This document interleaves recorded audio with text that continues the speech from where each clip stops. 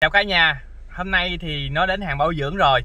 Thì hôm trước Khanh có nói là để xem coi chiếc xe này á Nếu mà quá hàng bảo dưỡng á, nó có bị khóa xe giống như xe xe của Đức hay không. Thì cũng may mắn là hiện tại là nó không khóa mà nó chỉ báo là quá hàng bảo dưỡng thôi.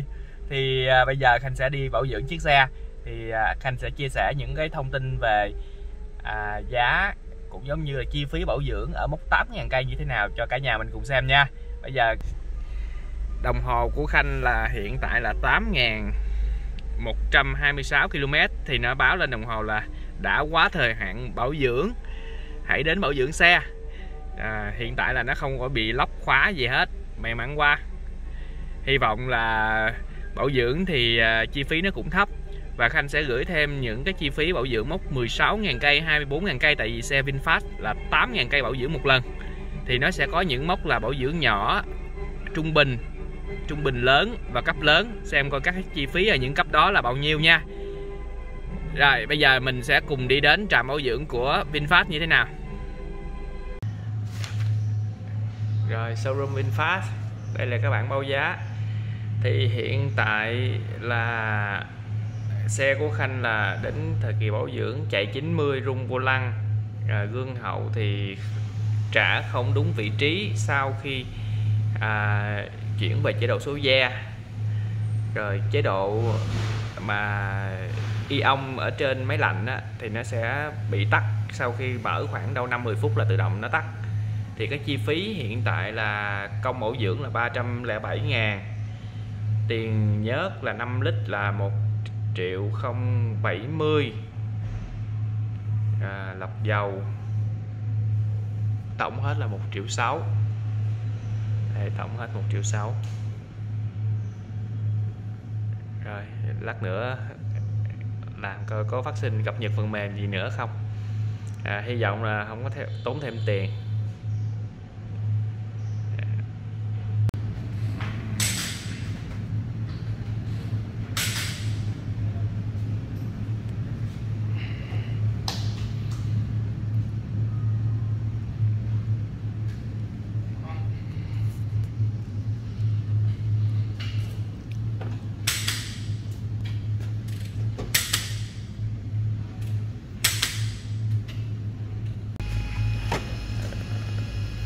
Gió giấy.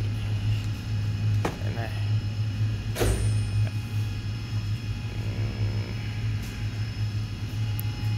hay là phải mở cái cây này ra nha.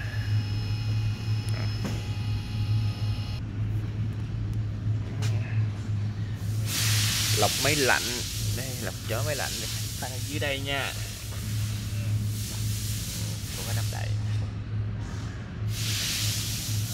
Đậy các bạn phải mở nắp đậy ra.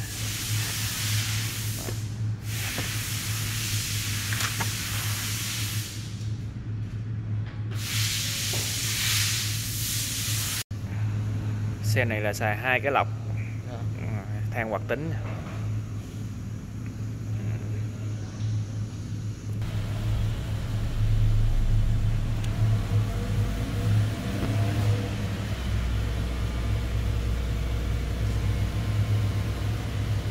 rồi rồi.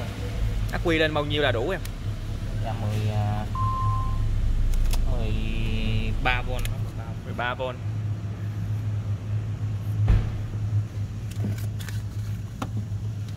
Cứ chép rồi. Nó không tủ nó sẽ báo rồi Này, 13V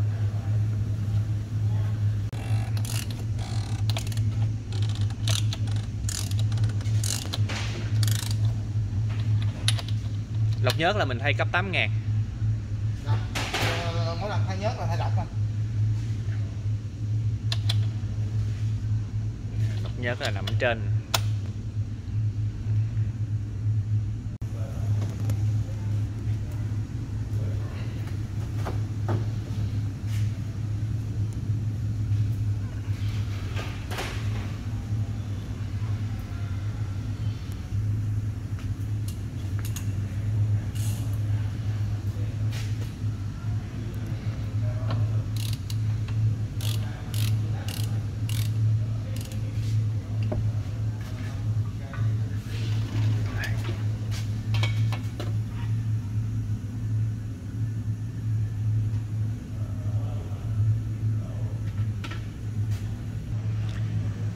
sau.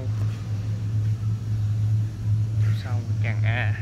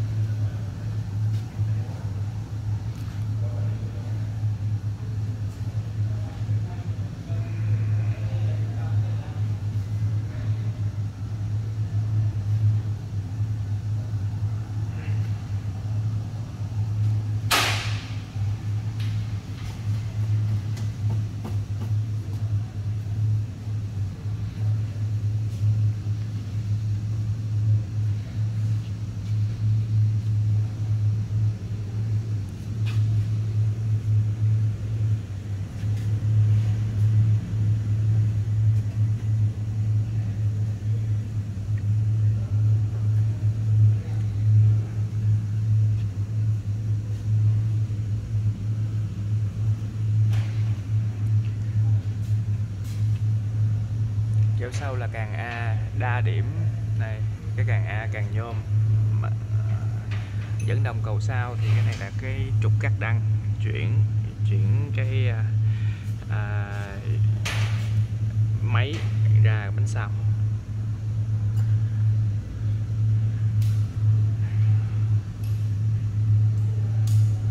treo đa điểm độc lập ừ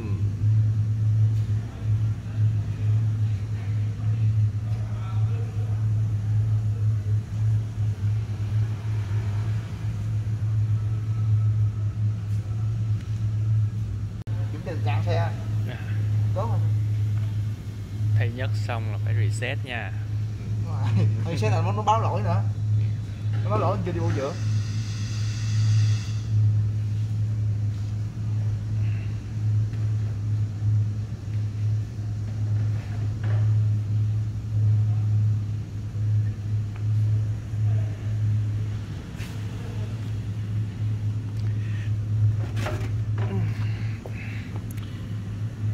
trước năm 30 à,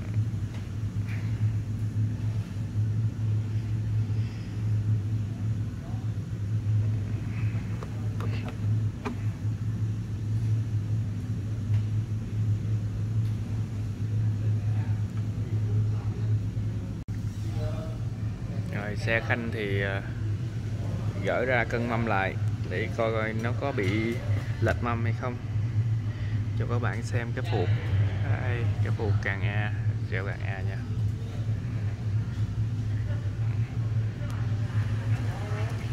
Đối với phần đĩa thì cái trục này mà các bạn mở ra là nó xét thì bình thường. À, cái lòng đĩa cũng vậy. Đây là xét là bình thường nha. Tất cả xe đều xét y như vậy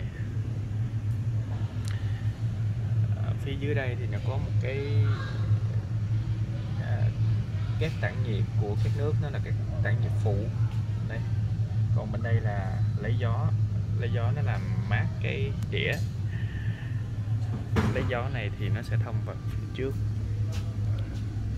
Đây. Nó sẽ có một cái đường ống đây. Đây các bạn thấy không ạ? Đó. đường gió đi vào thì nó sẽ làm mát cái đĩa. Đây là các phụ nè. Treo bằng càng A thì đi rất là êm nó không giống như treo Marper xanh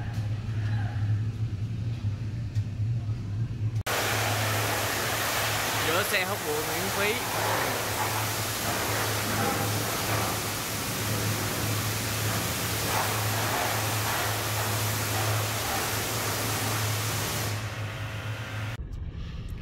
Rồi sau khi bảo dưỡng xong cấp 8 ngàn thì à, đồng hồ à, đã được reset và nó nó không có báo là bảo dưỡng nữa.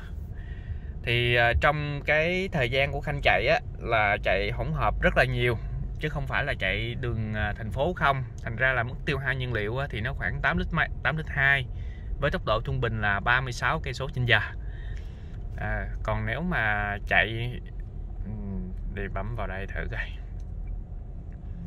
À, bấm qua hành trình A rồi, hành trình A thì 39 cây số. Trên giờ thì nó lên 7 lít 9 à. tiêu hao nhiên liệu thì nó phụ thuộc vào cái km trung bình của các bạn chạy nha. Chứ không phải lúc nào nó cũng giống nhau. Thì cái hiện tượng lúc nãy của khanh bị là nó bị rung vô lăng á. Rung vô lăng khi chạy trên 90 á, cái này là do cân bánh nha các bạn thì à, nếu mà anh em mình chạy mà có bị bể bánh xe có bị bể bánh xe thì à, cũng phải cân mâm lại. Đó cái đó là nguyên tắc rồi. Còn cái trường hợp mà cái kiến hậu bên phải đây là cái kiến hậu bên phải của khanh là khi vào số ge à, nó lật xuống và khi mà vào lại đê nó không trả lại vị trí cũ thì mấy anh kỹ thuật đã reset lại à, cái thông tin trên phần mềm rồi. Thì hy vọng là xài nó sẽ không còn bị nữa. Có một cái vấn đề mà muốn chia sẻ với tất cả anh em mình khi chạy xe VinFast là hệ thống phanh. Thì đối với hệ thống phanh của xe VinFast á, là nó sử dụng là má má phanh là má phanh dạng à, thang. Than à, dạng than thì nó sẽ hít bánh à, nó hít cái phần đĩa nhiều hơn là những cái búa phanh thường. Thì khi mà dạng than này nó hoạt động á, thì nó sẽ ra những cái bụi mà các bạn sẽ nhìn thấy cái phần mâm á, nó sẽ bị đen đen phần mâm đi. Nhưng mà đổi lại chiếc xe của các bạn á, là nó phanh rất là an toàn và cái quãng đường phanh thì nó sẽ ngắn hơn so với lại những cái xe bình thường. Nhưng nó có một cái yếu điểm đó là các bạn phanh á chúng ta rà nhẹ nhẹ nhẹ nhẹ thì nó hơi khi mà đậu lại thì nó hơi sực sực cái, cái bánh xe. Và người ngồi người ngồi xe thì có cảm giác hơi chồm chồm. Thì cái này là một cái uh, đặc điểm của cái hệ thống phanh là sử dụng công nghệ than trên má phanh. Thì các bạn cũng đừng có lấy làm lạ đây là nó đặc tính công nghệ rồi. À, hiện tại là do cái thời gian khanh không có thành ra là bảo dưỡng thì khanh cũng chưa cập nhật được phần mềm. Thì sắp tới rảnh thì ờ, sẽ bỏ chiếc xe lại cập nhật phần mềm thì nó mất khoảng ờ, chắc khoảng 2 tiếng để cập nhật lại phần mềm. Còn vô lăng thì sau khi cân mâm lại thì chạy có vẻ là ổn đó nó không có cảm giác là nó nó lệch lệch rung rung nữa rồi làm một cái video nhỏ nhỏ chia sẻ với anh em là bảo dưỡng 8.000 cây thì gồm có chi phí gì? Và à, thời gian mất của chúng ta thì nó rơi vào khoảng là 45 phút đến một tiếng nếu các bạn có kiểm tra thêm. Rồi cảm ơn tất cả anh em đã quan tâm theo dõi video. Nếu cảm thấy yêu thích nhờ nhấn nút đăng ký nhấn dấu chuông để nhận những video mới nhất của Bình Khanh để chia sẻ về thông tin giá xe khuyến mãi à, hướng dẫn sử dụng cũng giống như là những kinh nghiệm sử dụng về chiếc xe rồi nếu có hỏi về chương trình mua xe thì cũng đừng quên liên hệ với Bình Khanh qua số điện thoại 0788 555 444 để Bình Khanh tư vấn thêm thông tin à, những chiếc xe của các bạn đang có nhu cầu. Cảm ơn và xin hẹn gặp lại.